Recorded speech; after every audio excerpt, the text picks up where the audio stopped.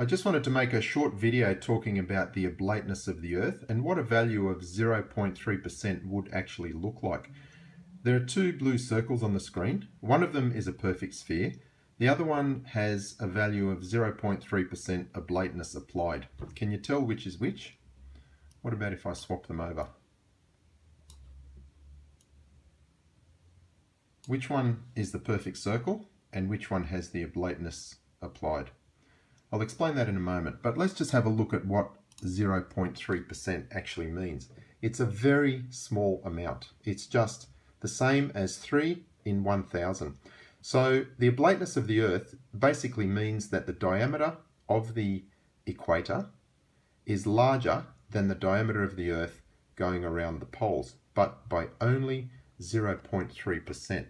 Now quite often you'll see images like this depicting the oblateness of the Earth. But as you can see, that's very unrealistic because the width far exceeds the, uh, the height from top to bottom.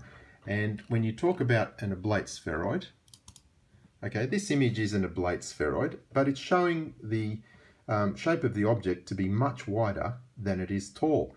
Now, any website that shows the Earth looking like that is really not doing anybody any favours because it's a very unrealistic depiction of what the Earth's oblateness actually looks like. 0.3% is just that much. Now, did you see which one has the oblateness? It's actually the one on the right. This one has the oblateness, circle 2, and circle 1 is the perfect sphere. So let me just show you how I did that. I'll just close circle 2 We'll close circle one and we'll open it up in a paintbrush program. And we'll just reduce it to a manageable size. And what we need to do here is look at the actual image size in pixels. You'll see the width is 1371 pixels. So if we come down to our calculator and we find 0.3% of that, we go 1371 times 0 0.003.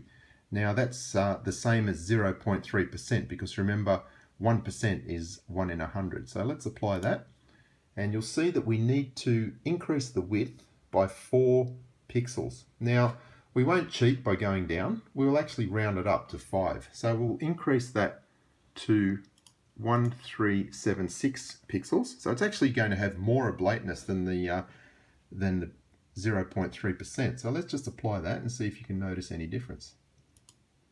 It just got wider very slightly. So I'm just going to undo up the top here. And then it got narrow again and we're going to redo. Okay, so when I made this uh, original circle, with the oblateness, I've saved it as circle 2 and I'll link to uh, both of these images in my video so you can compare them for yourself.